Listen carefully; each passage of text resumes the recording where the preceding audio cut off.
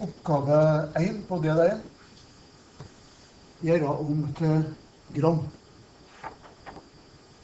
4,15 kilo. Fire er egnerplassen. Kommer det kilo, da setter vi fire på kilosplassen. Fyller på resten. 1,5. Vi skal ha gram. Og da ser vi at du får 4150 gram. På oppgave 2 oppgaven her 0,32 kilo. 0 er ene. Vi setter inn nuller på kilosplassen. Fyller på med resten. Setter null på gramplassen og ser at du får 320 gram.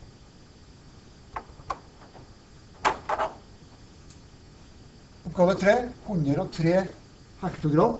I dag er vi nødt til å sette inn på hektogramplassen og finne eineren i hekto. Eineren er trea. Og vi tegner inn hektoet, for hekto er 100 gram. Står rett bakom kilo. Så setter vi inn trea. Så det blir 103 hekto. Vi skal ha svaret i gram. Og da ser vi at vi får 10.300 gram.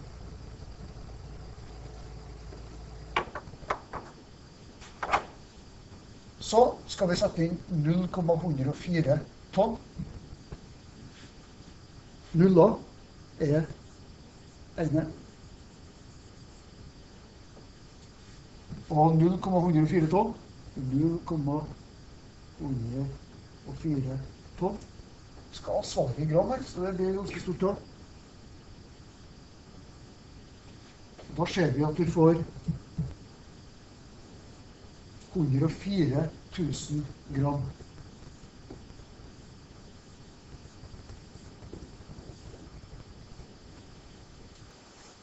Oppgave B. Til kilo. 24,9 tonn.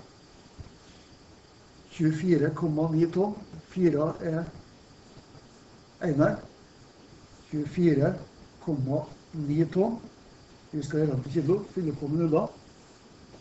Og vi ser at vi får 24 900 kilo.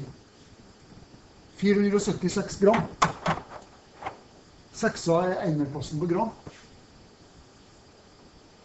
Og vi setter inn resten av tallene. 7, 4. Det skal gjøres som til kilo. Da ser vi til 0, setter vi komma etter kilo. Og vi får 0,476 kilo. 73,9 hekto. 3 er på enerplassen på hekto. Der er trea. Så får vi 73 og komma 9. Det skal gjøres om til kilo. Så setter vi komma etter kilo, og får 7,39 kilo. 0,96 hektogram. Nulla er på einerplassen på hekto. Så setter vi inn 96. Det skal gjøres om til kilo. Da må vi sette null på kilosplassen og sette komma etter kilo. Og vi ser at vi får 0,096 kilo. På C-oppgave skal vi gjøre om til liter. 1024 milliliter. Da står 4 på milliliterplass, som er eneren. Altså den der. Og da blir det 1024 milliliter. Det skal gjøres om til liter. Da setter vi komma der og får 1,024 liter. 65 desiliter. Femma er eneren. På desiliter så må vi da sette inn. Det er eneren. 65 komma etter liter. Vi skal gjøre til liter. Og vi får 6,5 6,5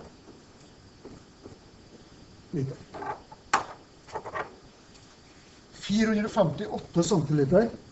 8 er eneren på centiliter. Det skal 8 stå her. Fyller vi på resten på tallene etterpå. 5. 4. Vi skal gjøre den til liter. Sette komma etter liter. Og får 4,58 liter.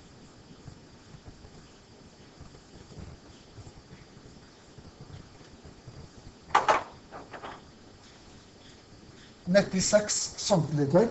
Seksa er engelen på centiliter. Seksa sto der. Nia skal stå der. Vi har ikke på litersplassen, så der er det null.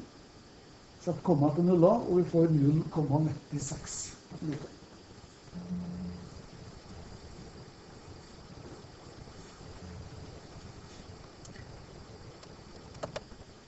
Oppgave to.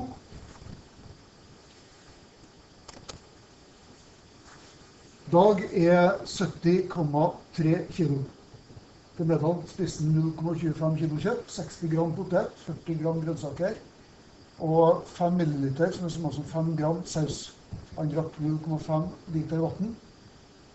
Og spørsmålet er hva verden dag etter middag? Uh, jeg tror kanskje vi kan uh, ta og gjøre om til kiloer. Ettersom vi skal ha vekta på. Han er 70,3 kilo. Han spiste 0,25 kilo med kjøtt. Da ser vi at vi må putte på en null der. Vi må ha to desimaler på alt så langt. 60 gram potet. Og det får vi prøve å ta i hele. 60 gram potet, det er 0,06 kilo. 40 gram grønnsaker, det er 0,04 kilo. Og 5 gram, det er da 0,005 kilo. Her må vi da inn med en desimal. Så drakk han en halvliter vann, og vi vet at én uh, liter vann er 1 kilo. Så da blir det en halv kilo til vann. 0,5 under kilo. Her er på del 1.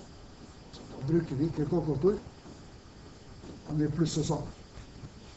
Her må vi også passe på formelen. Da ser vi at du får 5 her. Og så legger sammen midterst rekka med desimaler.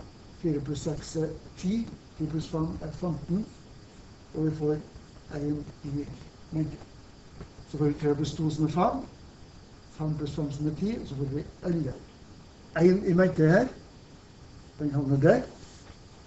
Og vi får 71,155 kilo. Så han ble så regner med til én desimal, da. Så er 71,2 kilo. Skriv tallene som desimaltall. 900 deler. Det er 0,09. For her har vi enerplass. Der har vi tidelsplassen. Og her har vi hundredelsplassen. Det betyr at vi har ni hundredeler. 45 tusendeler skriver vi som null, komma. Og nå er det på tidelsplass. så ser vi at vi får fire på hundredelsplassen og fem på tusendelsplassen. tusendelsposten. 450 titusendel. Her jeg ha gjort et krets. Også jeg ville ha strukket null mot null. si sånn at vi deler tallet og navnet med ti. Så da får vi 45 000 tusendeler.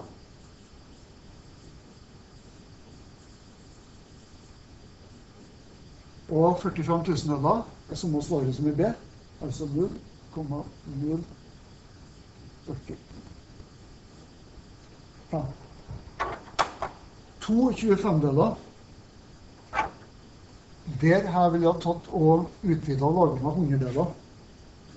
Så da tar jeg 25 og ganger med 4. Over og under. Teller med 4, nevner med 4. 2 ganger 4 er 8. 25 ganger 4 er 100. Det er laga oss hundredeler. Og åtte hundredeler er ganske greit å skrive, for det er 0,0. Oppgave 4. Regn ut. Starter med gangestykket. Når vi ganger, så ganger vi teller med teller, nevner med navn.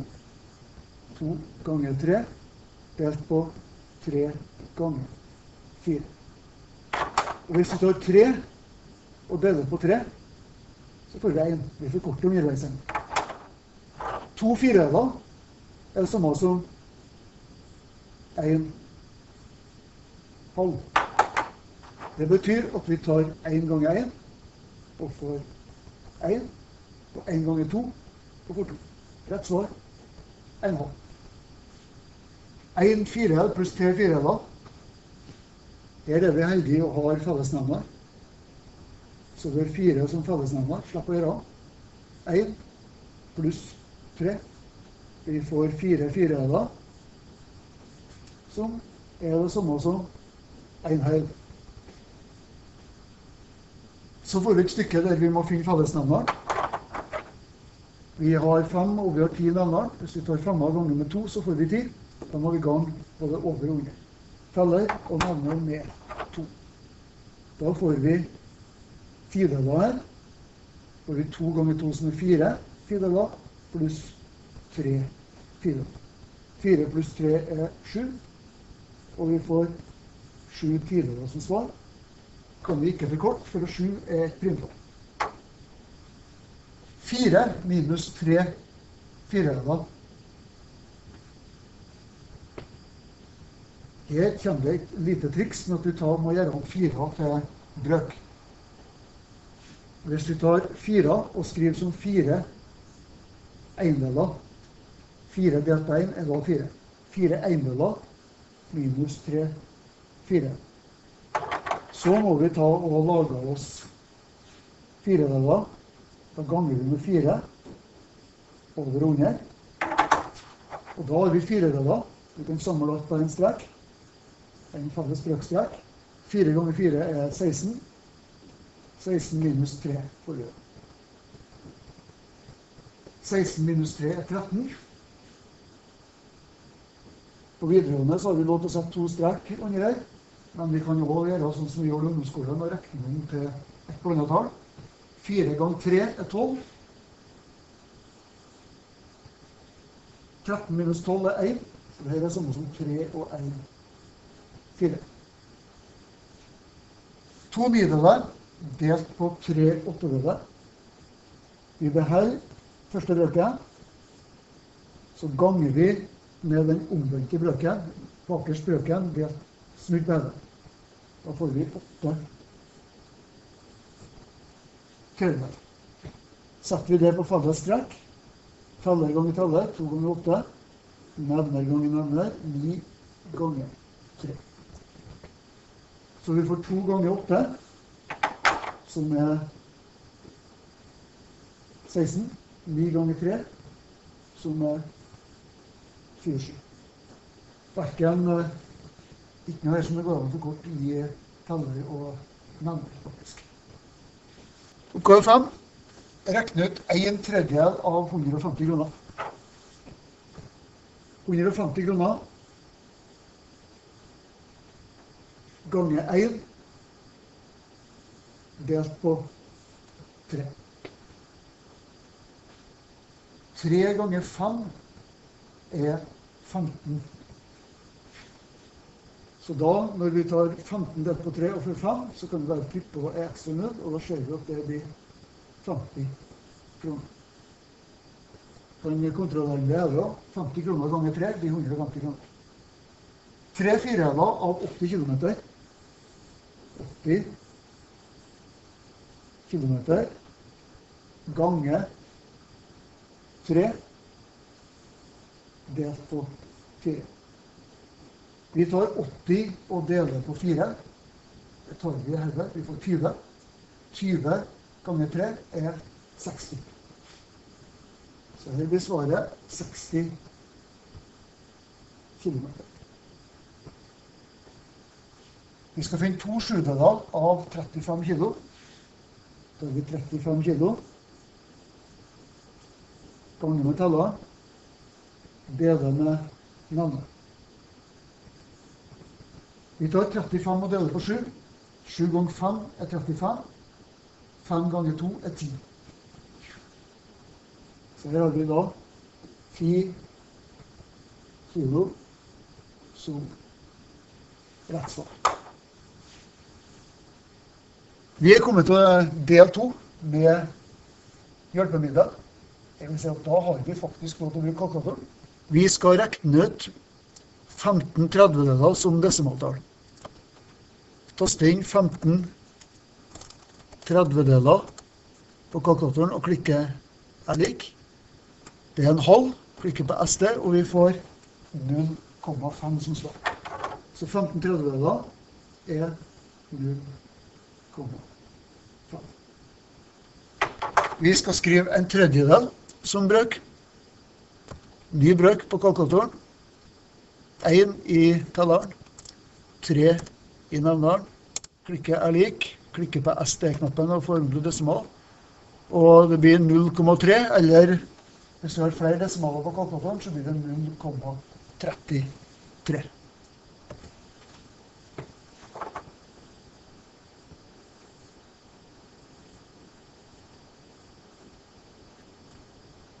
Ny brøk. 10.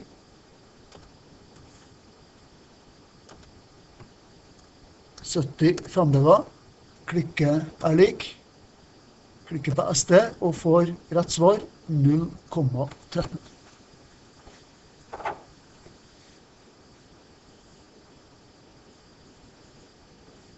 To strek under svaret.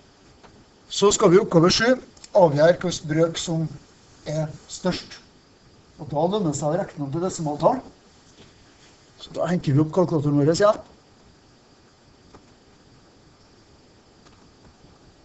Først taster vi inn en firehjul. En firehjul. Klikker jeg lik. Klikker på SD og får 0,25% Vi vet hva at en firehjul er 25 Det kom ikke akkurat brått på oss. 0,25 er det samme som en firehjul. Så taster vi inn to femdeler. To femdeler. Klikker er lik.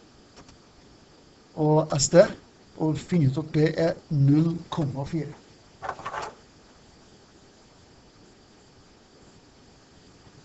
Og vi ser at 0,4 er større enn 0,25. Krokodilla gaper mot det største tallet. Og det er det her. Så to femdeler er størst. Vi skal sortere tallene i stigende rekkefølge. Vi tar og gjør om tallene til desimal. En tredjedel på kalkulatoren. Brøk. 1 delt på 3. SD. 0,3 sier kalkulatoren. Det er 0,3333, for det kommer aldri til å gå opp. Så en tredjedel er 0,33. 0,30 øvrig fra før. En halv er sånn som 0,5. Så kan vi sortere tallene. Vi har 0,33, 0,30, 0,5, 0,12 og 0,03. 0,03 er minst. Er vi ferdig med det? Så ser vi at 0,12 Så ser vi at 0,30 Den neste. Så ser vi at 0,33 er det samme er en tredjedel. Og til slutt så kommer en Oppgave åtte.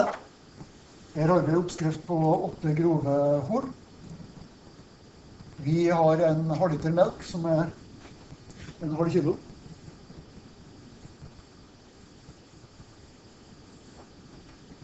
Femti gram gjær, som da er 0,05 kilo. 20 gram salt, som er 0,02 kilo. Det er jo alltid kilo her.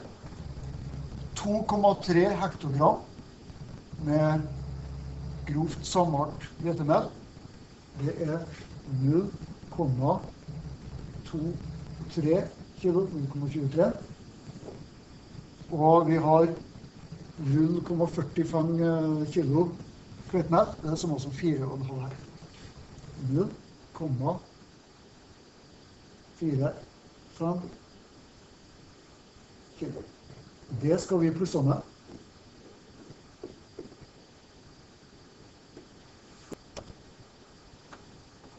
Klikker på SD og får 1,25 kilo. Er lik 1,25 kilo. Oppgave 8b. Vi skal regne med oppskrifta, sånn at vi kan bake 20 grove horn i stedet for 8. Vi må finne ut hvor, hva som må til å bake ett horn. Så deler vi på 8, og så skal vi gange med 20. Så hvis vi da regner ut brøken 20 åttedeler på kalkulatoren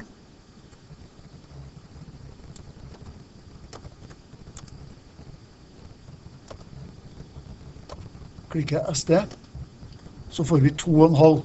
Så vi må gange oppskrifta med 2,5.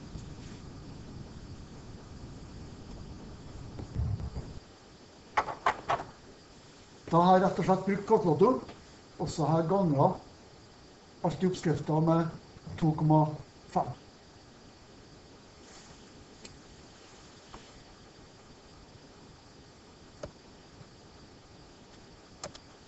Oppgave 9. Per, Anne og Jan skal dele 9600. Jan skal ha to, fem, to femdeler. Anne skal ha en sjettedel. Og Per skal ha resten. Spørsmålet er hvor mye det blir på hver. Ja skal ha to femdeler.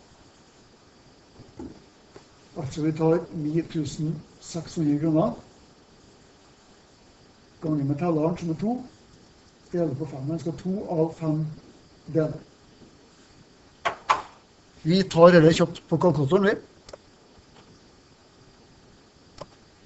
Vi tar 9600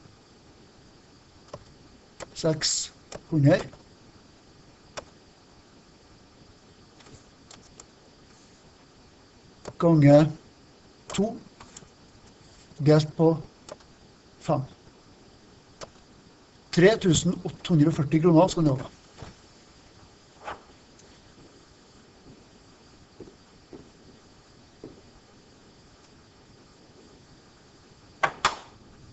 Så skal vi regne ut hvor mye Anne skal ha. Du skal da ha 9600. Du skal ha en sjettedel av det. Og det er jo faktisk det samme som å dele på seks. 9600 kroner delt på seks.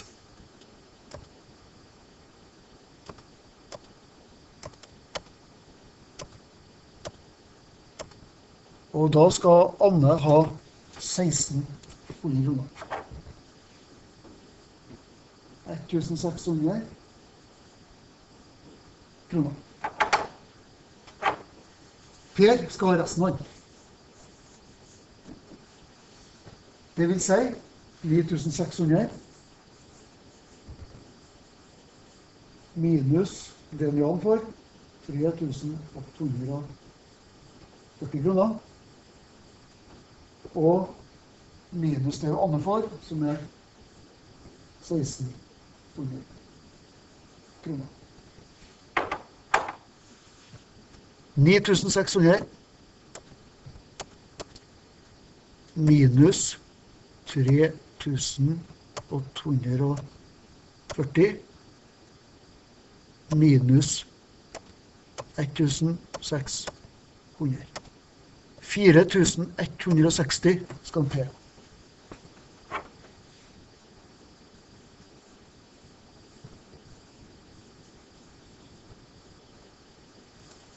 Linda, Britt og Jorunn de sprang stafett. Til sammen så sprang de 4,2 km. Linda sprang en tredjedel, Britt en sjette og Jorunn resten. Hvor langt sprang hver på én dag? Da regner vi ut Linda først.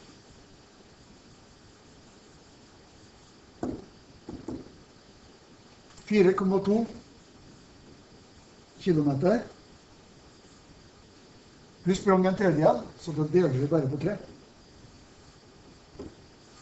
Og tar det på kalkulator. Fire komma to delt på tre. Neste 1,4 kilometer.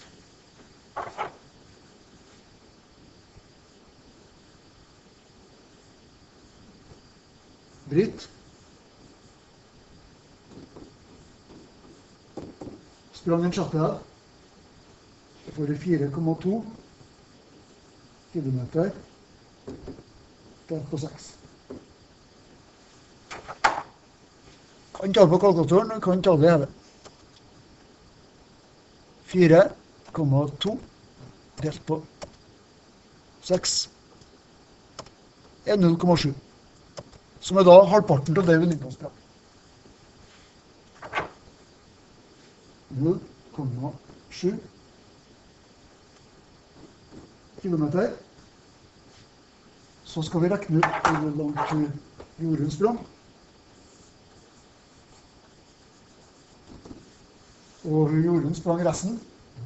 Det vil si at 4,2 km, som var det han sprang det samme, så må vi trekke fra lengden av Linda sprang, som er 1,4. Så må vi trekke fra det Britt som er 9,7 km. Og det ble 2,1 km.